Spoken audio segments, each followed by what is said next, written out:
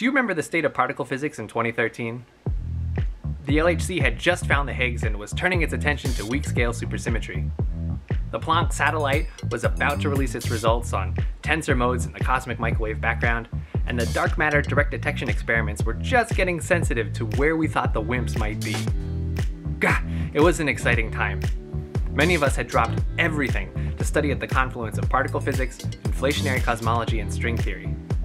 Any day we expected to get experimental verification of supersymmetry, of weird stringy effects in the afterglow of the Big Bang, and of dark matter. And of course, we thought that we could tie it all together with theory. Instead, we heard nothing. Bupkis. Crickets.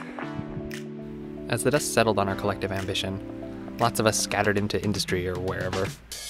Eventually, I landed here, in Washington's Methow River Valley. The world feels like a very different place now.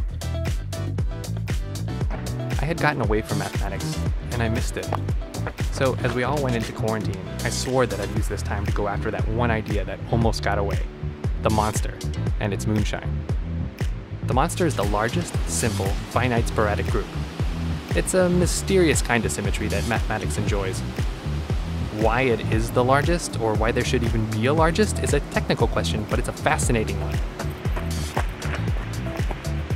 More fascinating is that its most natural representation is a conformal field theory with some nice modular properties. In other words, it's a string theory. When people talk about the monster's moonshine, that's more or less what they're talking about the string theory. And that's what I'm after. That's what I'm interested in. So I went out to eBay and bought this book. But learning new math is hard, and it's glacially slow, but it's exciting and it's enriching, and when it's good, you want to get up and share it with everybody you know, even if they think you're nuts. Crazy or not, the best way to learn something is to teach it. And so it dawned on me that I need to share this stuff with everybody. So I am. Today, I'm announcing a new project, and I'm totally excited about it.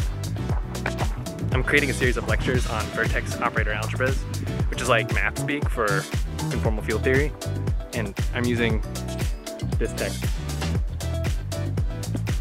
What's going to be fun is that I'm doing it all outside. It's just me, a camera, a chalkboard, and the Methow Valley. To give some additional background and perspective on the lectures, I'm also creating a series of trail running vlogs to kind of pair with the lectures.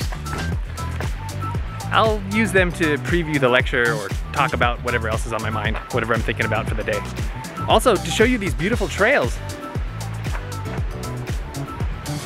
The vlogs are for everybody, and the lectures are for those who want to learn the math, or, or to teach it.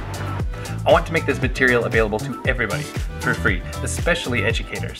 Whether you want to follow it linearly or kind of want to curate your own playlist, I'm really curious what's most helpful. So please, if this is at all interesting to you, watch it, let me know what you think. Let's get started.